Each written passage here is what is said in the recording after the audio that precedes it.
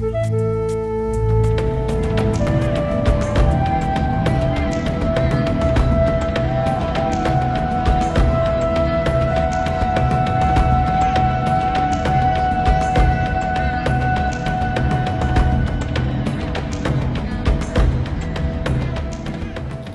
hi there, and welcome once again to In Search of Christianity, brought to you by Bible Talk. As we continue on, the purpose of this whole program each week is to find our way back to a Christianity that truly resembles Jesus Christ. Because we're looking at how the church has strayed from that and become something unlike Jesus Christ all too often. So uh, we're looking right now in the, in the, last couple of programs and in this program uh, at Acts chapter 6 as a really important transitional period in the life of the early church. So we're going to do that right now, right after our brother Mark. That's Mark, by the way. Hello. That's my sweet patootie Alice. Hi. and I'm me. I'm Allen. Butch. Whatever son of, of, a child of God. Yes, put you Ben Yahweh. All right. So Mark's going to ask God's blessing on our time together here. In John chapter 14, verse 6, it says, I am the way, the truth, and the life. No one comes to the Father but through me. Lord, I am grateful that you regard the truth. It's a firm foundation. It's a cornerstone that we need, Lord. And we're thankful that you are the truth, Lord. Please reveal that truth that we need to us right now in this Bible study. Amen. Amen. Amen. Give us understanding, Lord. Yes. yes. So, as I was saying, we're looking at that transition, and one of the things that I, I I'm trying to make evident is that what is often overlooked in Acts chapter six is that there is a movement. The, the, the body, the church of Christ. I was going to say the body of Christ. The body of Christ is supposed to be a body. The analogy is always a body. And a body is an organism. Yes, living. A living, breathing organism. Mm-hmm. Right? We are the body and he is the head. There's a transition, there's something happening here where it's going from being an organism to being an organization. Yes. And that's what I want to try and get a better grip on, that we see that, as I said, because we're trying to find our way back to being what we're supposed to be. So we're in Acts chapter 6, and we were, uh, in, our, in our last problem, it was not a problem, it was a program, it was a blessing. What are you talking about? episode. Okay. Okay. We were talking about the apostles, we were talking about uh, Greek philosophy, how, it, how it's affected or infected the church. So now the next thing that you're talking about would be the how it became a enterprise, a business in the West. Yeah. Organization. Right. I, I, I'll say it again, that you know, it has been said that Christianity started as a fellowship in Jerusalem, became a philosophy in Greece, which is what we talked about, became a culture in Rome, uh-huh. became more organized, and became an enterprise in the West, all right? So we're looking at it becoming a culture, it's becoming more organizational, it's becoming more, more structured, which isn't always necessarily bad, no. as long as the command center, the, you know, the, it, the, head is always correct. Right. So we're talking about, and, and please, if you've, if you've, let me say that if you've missed the previous programs, it would be worth your while to go back and take a look at the last, at least the last couple of programs, so this will make more sense to you, okay? Um, in Acts chapter 6, we were talking about that. Now, what happened is because of division in the body that was there, a, a problem arose, a complaint arose, and the apostles, and what I've been saying, and I think I've demonstrated it fairly well, is that they were dealing with the symptom of the problem rather than dealing with the problem itself. Mm-hmm. Rather than rather than dealing with the division, which is what they're supposed to be doing, is you know teaching and training the body of Christ. They start dealing with with the, the symptom, which was the distribution of food. And the problem with that is that action actually begins to bring a tolerance to sin. Yes. It brings a tolerance to division that lasted, by the way, for, for quite some time. It lasted in Peter's own life mm -hmm. until Paul confronts him, right? Repents. And it might have still been afterwards. Wow. You know, and, and one of the things, please let me make this perfectly clear. None of us, none of us here have reached yet a state of perfection. It says, you know, if, if any of us say that we have no sin, we're, we're sinning in, in doing that. We're a liar, we make God to be a liar. We all have failings and falling short. That's why we're supposed to be a body and working together, right? So if you if you think that I'm saying something wrong in this study, and I've said over and over, test everything I say, but test it against God's word, all right? Let me know. Go go to our Facebook page in search of Christianity, and you know let's communicate and talk about it. But the thing that's going on here is that there's a structure taking place, all right? Mm-hmm. The apostles, I'm saying, you know, that they didn't deal with the problem. They're dealing with the symptom of the problem, and they've come up with a solution then that doesn't deal with the problem. And that solution was that that they were going to have the congregation pick seven men to dis- take on the task of distributing the food. So we're at verse 4, in Acts chapter 6, verse 4. And the statement of the apostles here is, But we will devote ourselves to prayer and to the ministry of the word. So what they're saying is, we can't deal with this problem because we've got to devote ourselves to prayer and the ministry of the word. Well, that, that sounds nice. And the word devote there, by the way, in the Greek, literally means to give ourselves continually, mm. all right, mm. to prayer and the ministry of the word. Which is something Well, that sounds need to be good. doing. But the fact of the matter is, I remind everybody that's listening to this, particularly the pastors, all right, that we're all not none of us are, to be hearers of the word. We're all called to be doers of the word. We're all called to study to show ourselves approved unto God and study the word. So the fact is, there's no part that's exempt to just set itself apart. This is what happened in the early church when monasteries and monks began to grow. You know, just go away and pray. Well, there may be a time when you go away and pray, but it should be a brief time just to refresh. Because we're supposed to be in the world but not of it. The Great Commission is that we're to go out into all of the world. We're going to go out and make disciples.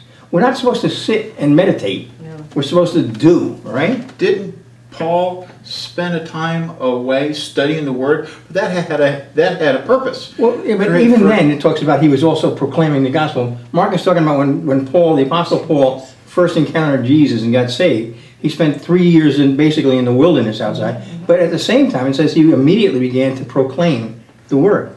So he's doing both. He's spending time, and this is this is the model. Everybody has to spend time hearing from God, Right. conversing with God. All right, that's called prayer, having conversations with God. But doing the word at the same time. Mm-hmm. Okay? So what's happening is the apostles are setting themselves aside and basically saying, in a sense, we're too important to be doing this menial work. And that's the beginning of this organizational That's where they went askew. that, that I find there's no justification for that in Scripture whatsoever. right? As you pointed out last time, last week, Yeah. that Jesus gave Absolutely. us That's an why I say example. you, you need to see the last couple because Jesus is the model for all of us. That's right. And he found time to, Serve. you know, at no time was he not devoted to the Father's word That's right. and devoted to the action. Okay, he was continually giving himself to prayer and to the ministry that the Father had given him. But at the same time, he was serving. Yes. Okay? Serving shouldn't interrupt your calling by God, Right. right? Right. Some of the great events in the New Testament happened by interruption. Yeah. All right. Jesus Christ on his way to see the the uh, that was a centurion's servant or son, Yeah. and he is inter- interrupted by a woman who has a hemorrhage for twelve years. Mhm. He didn't say, "Well, I don't have time to do this." No, he didn't. He did it, and that's one of the great miracles in the Bible. Is when she touched him, that power flowed out of him. All right. Paul, you know, he's in his ministry. He winds up with, with Silas in jail in Philippi. Is that an interruption? Mm-hmm. I don't think so, because that that story is really not about Paul. That story is about the jailer. about the jailer. Mm-hmm. Paul is on his way to Rome, and he gets interrupted by a storm and winds up shipwrecked on the shores of, of Malta. Was that Look, look, keep- keep- Was that an interruption? No, it wasn't an interruption. That's what brought the Word of God and the power of God to that island. Lazarus too. Well, it's all over. I mean, that was an interruption that he kept going for Oh, two, for two, right. for two more days. But the, the point is, we are all called to ministry. Mm-hmm. And I promise you that I've made that clear in earlier, in Yes. earlier programs. Every Christian, and it's clear from the scriptures. Look at Paul's letter to, to the Corinthians where he talks about the Spirit of God works through each one individually as he wills. We are all called to serve and to minister. Not all the same way by any means. And there is a distinct five-fold ministry. Mm-hmm. You know, the, evan- the, the apostles, prophets, evangelists, pastors, and teachers. So there, there is that. And we're to give honor to whom honor is due. But that doesn't give anybody freedom from serving. There's structure. All ministry is about serving. And that's certainly one of the early programs we did, mm-hmm. all right? So here I see a problem taking place, all right? as I just mentioned, Jesus, surely and demonstrably devoted to prayer and the word, managed to accomplish that while doing all that he did. Mm-hmm. And clearly, all Christians are expected to follow an invitation to him in both pursuits, regardless of their daily occupations. You know, Paul wrote in Colossians and says to all of us, he says, devote yourselves to prayer, keeping an alert in it with an attitude of thanksgiving. You have to be devoted to prayer. I have to be devoted to prayer. To the Thessalonians, Paul said, pray without ceasing. That's right. Okay? So if you're serving tables, you better be praying at the same time. Amen. Amen. You better be doing all things as unto the Lord. To the Romans, Paul wrote, Be devoted to one another in brotherly love, giving preference to one another in honor, not lagging behind in diligence, fervent in spirit, serving the Lord, rejoicing in hope, persevering in tribulation, devoted to prayer. Romans 12, 10 through 12, right? And Jesus was saying to those Jews who had believed him, If you abide, continue in my word, then you are truly disciples of mine, and you will know the truth, and the truth will make you free. John 8, 31 and 32. If you're a plumber, you better be praying while you plumb. If you're a carpenter, you better be talking to God while you're hammering. If you're a gardener. If you're a gardener, okay, I mean, whatever you are doing in this life, it is the ministry that God has given you, and you better not do it without Him, okay? So this, this, what's happening when the apostles say, okay, we'll go pray and get the word from God and come back to you. This has led to a spiritual fast food generation that becomes dependent on pastors and teachers. We want them to spend great. Listen, I listen. I'm, I've been teaching the, this word for almost 40 years. I know what I'm talking about. We're expecting the teachers to go out and spend. Oh, I, I spend a lot of time praying about these things. Okay, but then they're going to come back and sit here for half an hour and just throw everything out on you so you don't have to study. Not at all. Mm-hmm. Now, you know, I think I ended last week by saying, and this is important. When, when you leave this program, do not stop with the content of this program. We had a dear brother, Arthur Bird, who just went to be with the Lord at 102 years old over in North Wales. We, we spent a lot of time with Arthur. And Arthur, one of the things he always said was, we, we do these great meetings over there. He said, the meeting doesn't start until the meeting ends. That's right. Now, I can't do anything more than plant that little seed in you. But God gave me a revelation of what that was one night when I was staying at Arthur's house, house after a meeting. And at 3 o'clock in the morning, it was like I felt a tap on my shoulder. And God said to me, this is after having meetings all day that day. The Lord said to me, it's time for us to meet. Mm-hmm. And God gave me understanding of what He had revealed in those meetings all day. Okay? Don't don't just come for half an hour and then walk away and, and brush it off. All right? Otherwise, Sure. you, you're not you're wasting time being here. What I'm trying to do is get us, you and us, to discuss with the Lord what I said in the very beginning of this. How do we get to that place where we return? That's what revival is. I mean, where we get back to that place where the bondservants of Jesus Christ look like Jesus Christ, live like Jesus Christ, act like Jesus Christ, and bear that witness to the world, this dark and dying world. Okay? So anyhow, so now the apostles have said they're going to devote themselves here to, to, mm-hmm. to prayer and the word. And they've said, well, to the congregation, we want you to pick seven men filled with wisdom and the Holy Spirit to take care of the distribution of the food, the serving, right? And in verse 5, it goes on to say, the statement found approval with the whole congregation. That should be a red flag. I, I don't doubt that, okay? It's a little scary when everybody agrees, okay? And, and we should, because we should be of one mind, Yes. all right? But more often than not, well, let me just go on, all right?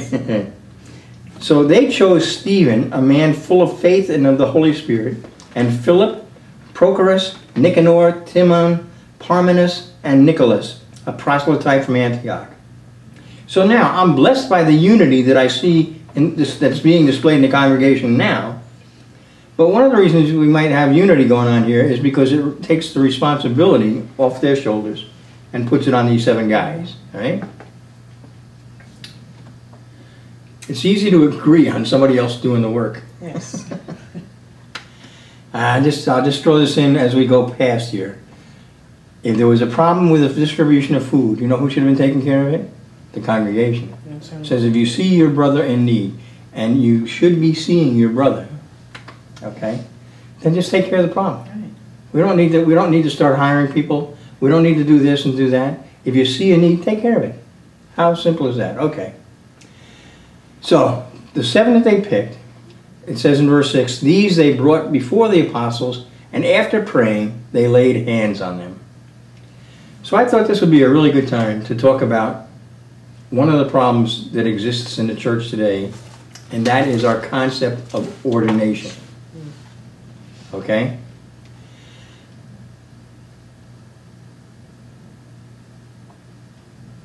Ordination is when we recognize the gift that God has put in somebody.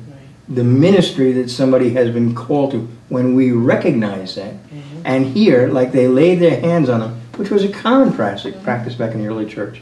It didn't have to be this ordination ceremony. It was like, you know, they laid hands on them and prayed, prayed to encourage them, prayed to bless them, prayed to strengthen them. But they're not empowering them. No. Man doesn't have the power to give that power to another. It requires the calling of God in that person's life. Absolutely. And it takes the empowering of the Holy Spirit. Okay? It- It's, it's funny because Alice and I got in a discussion today that came up from something we were looking at and studying together about ministerial licenses. Mm-hmm. Okay? Um, you know, you have to have a light. Listen, I've traveled over five continents, and I can't tell you how many times I've gone someplace for the first time, and somebody in a congregation will say, "Oh, do you have a license?" And I'll pull out my wallet and I'll say, "Yeah, I've been driving for fifty some odd years now." And they say, "Oh, no, no, no, how?" I- No, I don't have a license to preach. I have a command to preach. I don't have a I don't have a license to teach the Word of God. I have a command to preach the Word of God. I don't have a license to serve the body of Christ. I have an obligation by the love that's been poured into my heart to serve the body of Christ. It's not about having a license. One of the problems with a license, and you know, Alice will attest to this, and I think Mark, you may have seen it sometimes. A number of times in my ministerial life, my life in, in the body, I have been challenged both by uh, secular and religious organizations telling me that they required that I get a permit or get a permission or get a, uh, a license to do a certain activity. And I have always refused to do that. And it's not that I am trying to be obstinate, and I believe in being submissive to governing authorities. Well, the activity is preaching. Preaching. Yes. Absolutely, preaching. I mean, I used to do a lot of preaching on the street. My ministry started back in the mid 70s, preaching on the streets of New York City where I grew up. The deal is, if you, it's like with my driver's license. If I take a license which is permission to drive a car, I have to recognize that they now have the authority to take that permission away from me. That's right. And they do. If they don't like how I drive, they can take that permission away from me. Mhm. So if I if I say I accept the fact that I need your permission to preach the gospel, I am recognizing their ability to, to command me not to preach the gospel. that. Yeah. You know, and God called me. He's the only one. He's the only one that did that, and He's the only one that can. He's going to take that away because the gifts and calling of God are irrevocable, irrepentable. So that's not a concern. How would that have worked for? I mean, if if you needed the permission of either man or government to preach the gospel, how would that have worked out for Jeremiah, for example? Jeremiah opposed the king. Oh, okay. How would that have worked out for Isaiah? Or Peter? Or Paul? Or for that matter, Jesus Christ? You have to remember, you know, it says eh, the world hated him. Don't be surprised that it hates us. The world, you may have times of peace with the world, but don't think that the enemy is not still after. They want us, they, the enemy wants to stop the word from going forth. He wants the love of God to be blocked and prohibited, right? You're, you have to be willing to suffer the con- One- Yes, absolutely. One of Yes. the deals is, you know, years ago I started when the internet first came to public light back in the mid '90s. Uh, I started a company. I was part of starting a, a pretty large Christian internet company, and one of the things that we provided was that churches could use our internet site to look for people in ministry to come and work for them. So I saw this, and one of the things I saw, and I, I see today because I just glance at it, see what's happening, is that you know if you're gonna if you're gonna be a senior pastor, but you have to have a PhD, you have to have a doctor of divinity, you have to have this. Where would that leave Jesus? Remember what it says in John 7, 14 to 17. But it was when it was now in the midst of the feast, Jesus went up into the temple and began to teach. The Jews then were astonished, saying, How has this man become learned, having never been educated? So Jesus answered them and said, My teaching is not mine, but his who sent me. If anyone is willing to do his will, he will know of the teaching, whether it is of God or whether I speak for myself. You know what? You ask God. If, if you think, you know, if you have questions, ask God. Because the fact of the matter is, my teaching is not my own. And if it, any time that it is, if it happens, please somebody call me to repentance. Because I am not allowed to speak anything on my own. Either are you. Now, going back to the license, one of the things that you should make clear is the fact that you weren't disobeying authority because they didn't have The authority to do that. to do that. Because we're not supposed to Right. disobey governing authority. Absolutely, we're not. But the governing authority like- doesn't have the authority Right, to it's tell like you. when Peter and the apostles were Yes. commanded by the Sanhedrin, uh, you know, um, not to preach the name of Jesus. That's and right. They said, you be the judge whether we have to be obedient to God or be obedient Right. to you. Now, do I, do I believe in education? Yes. Well, Paul says, study to show yourself approved. I, I studied theology in a mainline seminary. I did graduate level study that God protected me from and that I didn't finish because I chose to walk away from it at, at some point, right? But I walked away and I still today, if I had it on my business card, which I don't, by the way, I could have my name is Allen W. McDaniel Jr., BA, MA, DD. That's right. That sound impressive? It stands for Born Again, Made Anew, and Divinely Designed. So go ahead. We, we can all put those letters. Well, because that's what's important. The only thing that's important is that you are filled with the Spirit of God, right. walking in the Spirit of God, filled with the Word of God, and doing the ministry that He has called you to.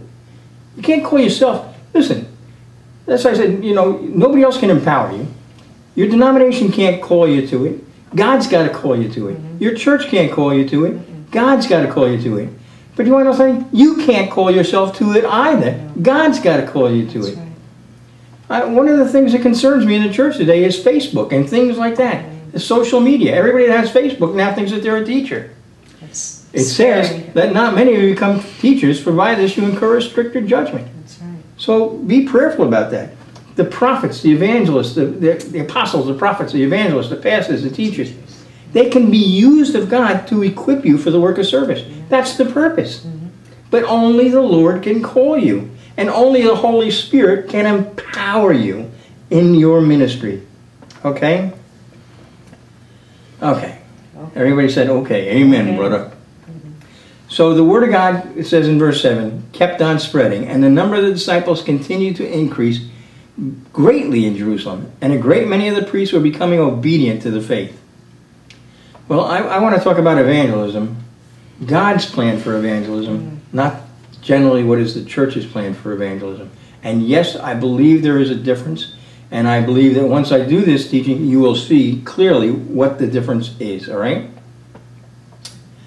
All right, so in verse 8 it says, And Stephen, full of grace and power, was performing great wonders and signs among the people. What? What? Wait a minute.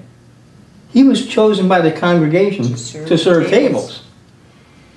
But apparently, this man, full of faith in the Holy Spirit, with a heart willing to serve, was chosen by God to serve the bread of life and the words of eternal life, confirmed by power.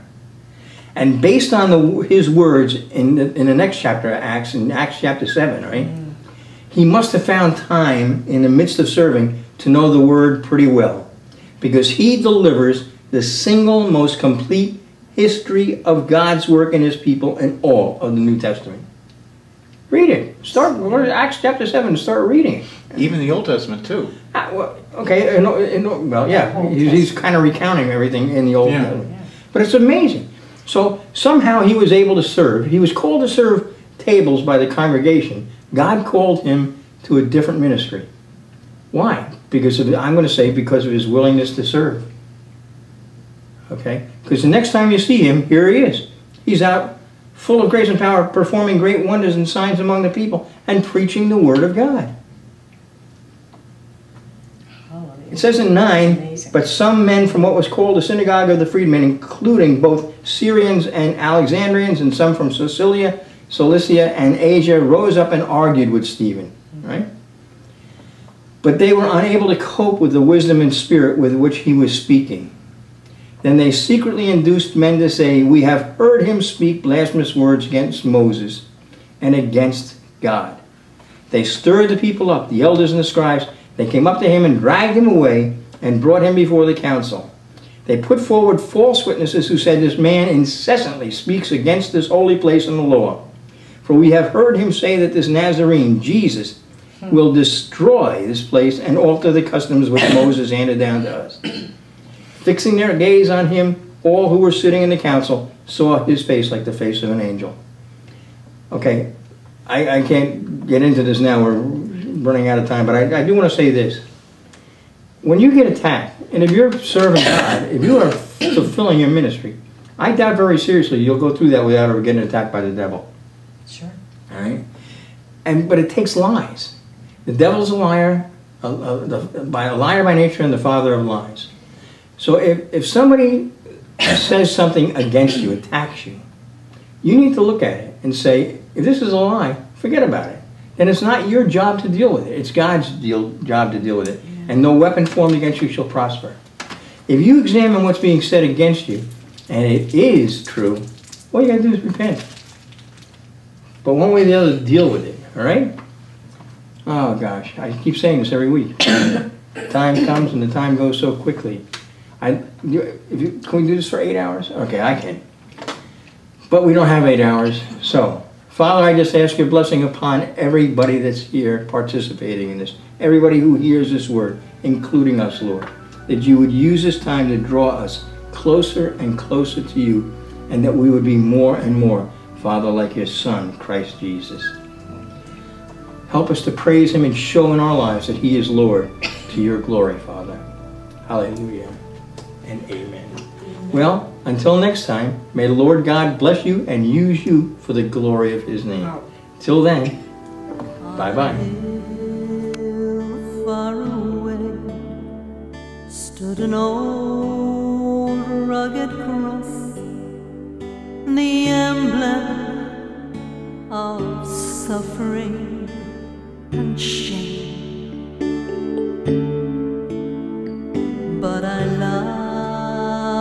that old cross where the dearest and best for a world of lost sinners.